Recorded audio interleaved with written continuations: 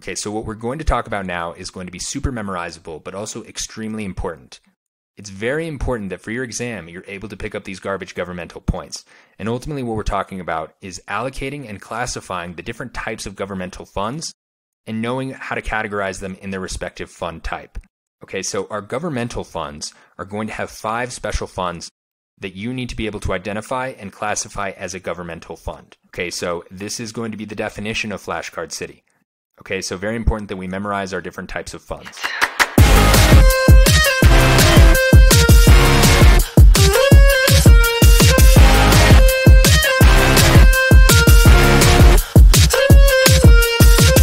Okay, so once again, before we dive into it, when you think about governmental funds, you're thinking modified accrual and current financial resource measurement focus. So, our five governmental funds are going to be the general fund, the capital projects fund, the permanent fund, the special revenue fund, as well as the debt service fund. So, think about each of these funds as special savings accounts, okay? So, special bank accounts that are separated basically so that they can apply money to specific projects or very specific government related expenditures. Okay, so firing this off with the general fund, this is going to be used to account for ordinary operations of a governmental unit, and it's going to be financed generally from taxes as well as other general revenues. So at the end of the day, the general fund is going to be used to account for financial sources that are not restricted to specific purposes or otherwise required to be accounted for in another fund. All right, so not restricted for specific purposes. An example of this could be to purchase, say, supplies. Okay, so that would be purchased in order to meet operating expenditures. Whereas capital project funds, these are going to be used for tracking financial sources that are going to be used to acquire and or construct a major capital asset. So a major capital asset could be something like a highway or a railway, any sort of dams that need to be built by the government. The construction of these projects are all going to come out of the Capital Projects Fund. Okay, so subways are something that are popular here in New York. These are examples of things that could be financed from the Capital Projects Fund. The Permanent Fund and the Special Revenue Fund are used to account for general governmental financial resources, and they are going to be restricted by law or contractual agreements to specific purposes other than debt services or major capital projects, right? So they're going to exist as long as the government has resources that are dedicated to these specific purposes. And finally, we have the debt service fund, right? So think of this as a separate savings account just used for debt payments. So this is going to be a fund that is used for reserves, and the reserves will be used to pay interest and principal payments on certain debts that are outstanding. And ultimately, the purpose of the debt service fund is going to be intended to reduce the risk of a debt security for specific investors. So this can be used once again, to mitigate the risk of any of these debt related investments. So, those are going to be our five governmental funds that you absolutely need to know. You need to know once again that these governmental funds will always apply the modified accrual basis of accounting as well as the current resource measurement focus. Okay, so know that related to governmental funds and you're going to be fine. I know, I know. It's not why you're here, but I just want to reel you back in for a second and give a quick shout out to Connor for passing all four sections of his CPA exam after switching to Universal CPA Review. Using Universal compared to traditional text materials was a big game changer for me studying for the CPA.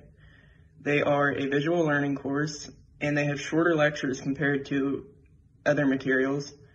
And they also help you prepare by not only giving you the main points in the lectures, but also having a video to walk you through every multiple choice question, which if you're like me, working through problems, and then actually having somebody with a visual lecture for every multiple choice question is a game changer and helped me tremendously through studying.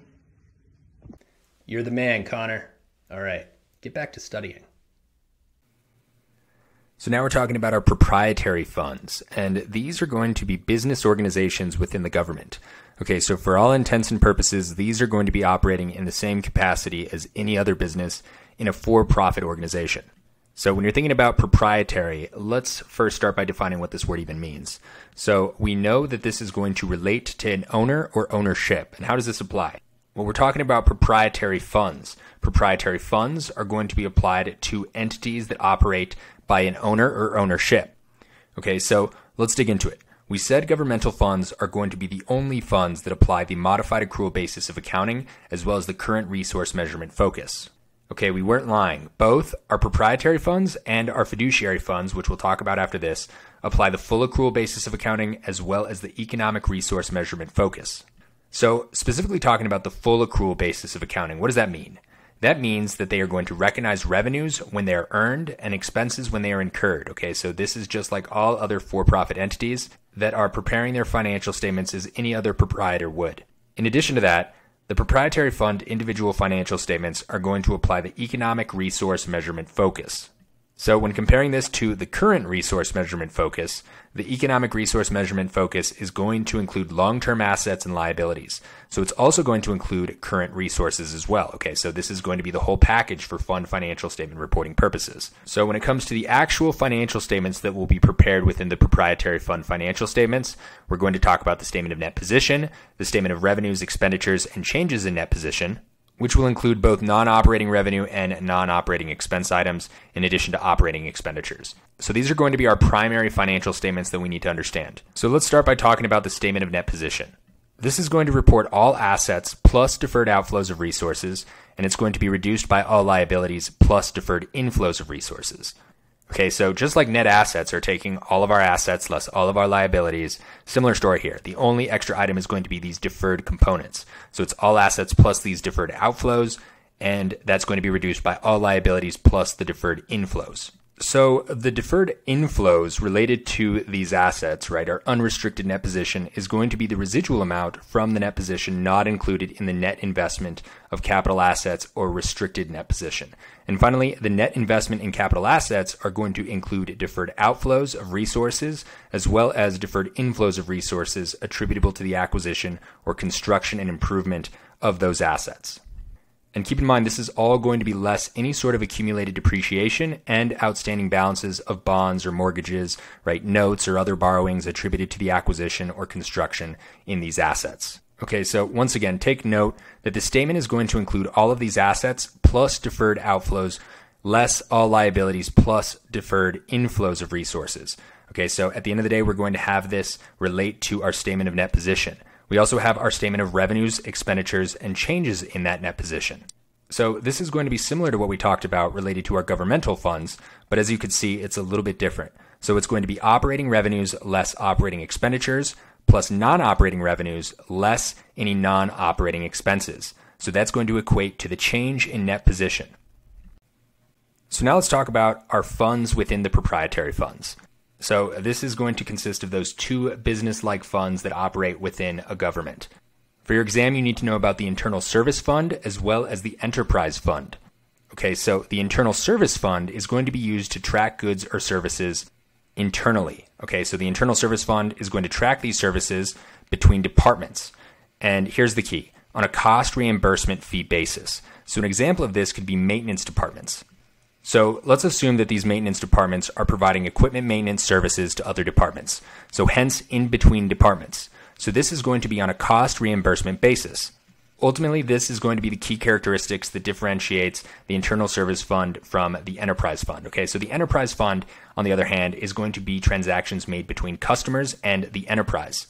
So associate this with external customers within the transaction. Okay, so the enterprise fund is going to be E for enterprise, which will consist of external customers.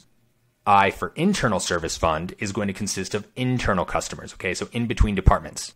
E for enterprise, I for internal service fund. Okay, so the enterprise fund is going to be used to set up accounts for the acquisition and operation of governmental services. So let's go through a couple of examples. This could be for things like food service programs or athletic stadiums, right? The community swimming pool. Those are all examples of external funds. Ultimately, we need to remember that internal service funds and any enterprise funds are going to be your proprietary funds. Also, very critical to remember, this is going to be reported based on the full accrual basis of accounting as well as the economic resource measurement focus. So we are going to be recognizing all revenues when they're earned, all expenses when incurred. We're going to include all of our long term fixed assets as well as our long term liabilities within the statement of net position. Okay, so let's wrap up our different funds by understanding the fiduciary funds.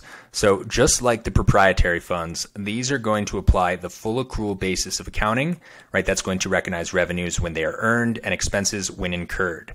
So, they are also going to apply the economic resource measurement focus. So, for all intents and purposes, fiduciary funds will recognize their individual financial statements the same way as proprietary funds. They're also going to include those fixed assets that are long term and the long term liabilities. So, What are the funds related to the fiduciary funds? So these are going to consist of the investment trust funds, the pension trust funds, and the private purpose trust funds, and we can't forget about the custodial funds.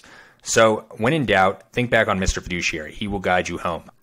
So, going through each of these, the investment trust fund is going to be a fund that is used to account for investments. Okay, simple enough. Pension trust funds are ultimately going to be similar to what we talked about in our pension lecture. Okay, so these are government funds related to pension plans. Similar to retirement accounts, but these funds for governmental purposes are going to account for resources of defined benefit plans, defined contribution plans, post retirement benefit plans, and any other employee benefit plans. Okay, so our pension trust funds. These should be easy enough to remember. We have our private purpose trust funds. So these are going to be assigned to all other trust funds when principal and income are used to benefit specific individuals or private organizations, right? So private purpose trust funds are going to be the last one other than custodial funds. So custodial funds are going to relate a little bit more towards miscellaneous bonds. Okay, so this is kind of new to the exam. It's still being tested, but the story of these funds are going to be used to account for resources that are being temporarily held by another governmental unit. So unlike proprietary funds, we're going to be reporting these funds by fund type, not major funds. So the primary financial statements within the fiduciary funds are going to consist of the statement of net position and the statement of changes in fiduciary net position. Okay, so let's wrap this up by doing a quick summary of all of our different funds right? So our governmental funds are going to be the only funds that apply the modified accrual basis of accounting as well as the current resource measurement focus. They're going to be excluding long-term liabilities and long-term fixed assets. Okay, so current resource measurement focus is going to consist of current resources only. All right, so when it comes to proprietary funds, we know that we're going to apply the full accrual basis of accounting as well as the economic resource measurement focus. And the same is going to go for fiduciary funds. But for proprietary funds, we're going to be focused on internal service funds as well as our enterprise funds. And the breakout of the fiduciary funds are going to consist of those investment trust funds, the private purpose trust funds, our pension trust funds, and finally our custodial funds. Okay, so as we said, this is the definition of flashcard city. We really need to be able to classify each of these funds and bucket them within their individual fund financial statements. Okay, so although it's called government funds, there's an individual fund type called governmental funds. Okay, so don't confuse all of our governmental funds with this governmental fund classification. Because at the end of the day, you need to know how we are going to break out our governmental funds and how they're going to be separated from our proprietary and fiduciary funds. Because how they are going to be reported in their individual fund financial statements is going to be the biggest difference.